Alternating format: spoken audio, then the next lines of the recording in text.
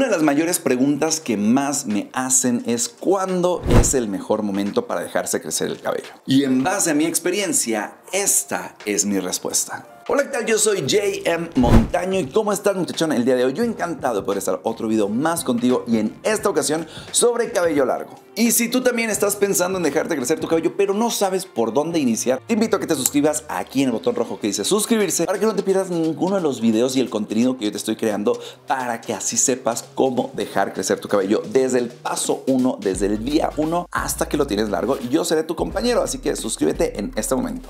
Quieres tener tu cabello largo, no hay que esperarse a un momento en específico. Simplemente si hoy tomaste la decisión de que quieres tener tu cabello largo, hoy inicias tu proceso de crecimiento. Pero si te estás preguntando si existe un momento perfecto para iniciar a dejar crecer tu cabello, la respuesta es que sí. Un amigo una vez me preguntó cuál era la mejor temporada del año para iniciar a dejarse crecer su cabello. Y mi respuesta fue el verano. Porque los primeros meses en que iniciamos a dejar crecer nuestro cabello son muy difíciles y complicados. Y a partir del tercer y cuarto mes, las cosas se van poniendo mucho más complicadas con el cabello. Y si contamos o suponemos que iniciamos a dejarnos crecer nuestro cabello en junio, para los cuatro meses después sería aproximadamente octubre. Y por esos meses ya de octubre, el clima comienza a ponerse un poco más fresco. O por lo menos para nosotros que vivimos de este lado del hemisferio en el planeta. Porque sé que para muchachones que viven, por ejemplo, en Argentina, el clima es completamente diferente en octubre. Entonces, suponiendo que vives de este lado del hemisferio de nosotros, pues en octubre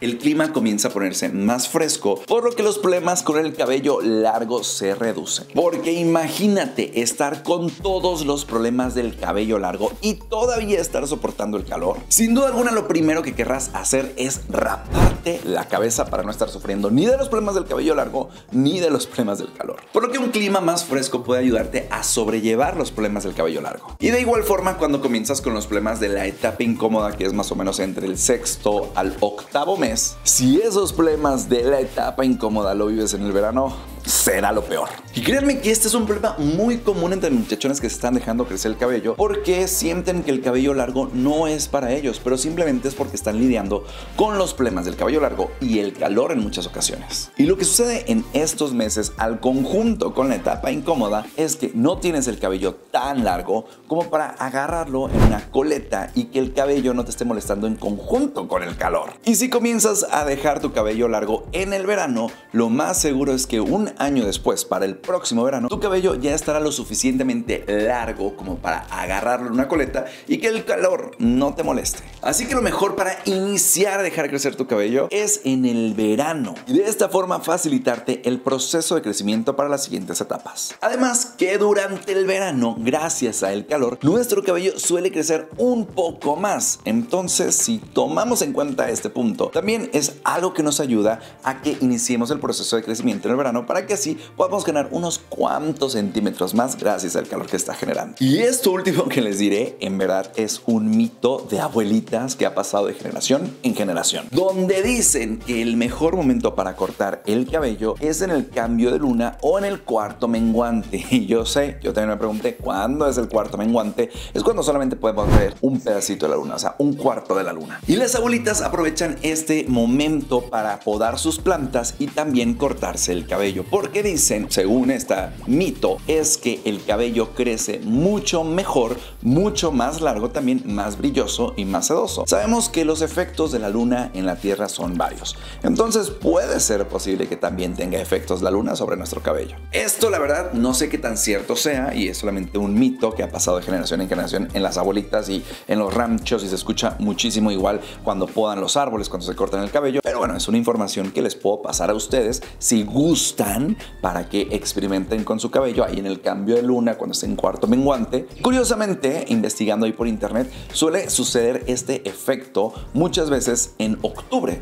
Entonces, pues iniciamos en junio y para octubre ya es el recorte, el despunte. Entonces, por ahí podríamos ayudarnos un poco más también. Y pues, muchachos, muchachón, eso es todo por el video del día de hoy. Espero te haya gustado y te haya servido este video para que sepas mi consejo y mi recomendación de cuándo iniciar a dejar crecer tu cabello y por qué. La mejor etapa, el mejor momento, junto con la luna. Déjame acá en comentarios en qué momento, en qué mes o en qué temporada del año tú iniciaste a dejar crecer tu cabello y si es que en el verano le sufriste, también déjanos acá abajo en los comentarios. Yo quiero estarlos leyendo y unirme junto con ustedes a la conversación. Recuerda muchachón que me ayudas muchísimo, muchísimo si te suscribes a este canal en este momento. Si te estás dejando crecer el cabello, no olvides seguir utilizando el hashtag reto muchachón en Instagram y seguirme a mí para más consejos y contenido de productos y recomendaciones que podrías estar utilizando. Y también dale like a este video para yo saber que te gustan todos los videos sobre cabello largo y mis recomendaciones para que así tú tengas ya mi experiencia.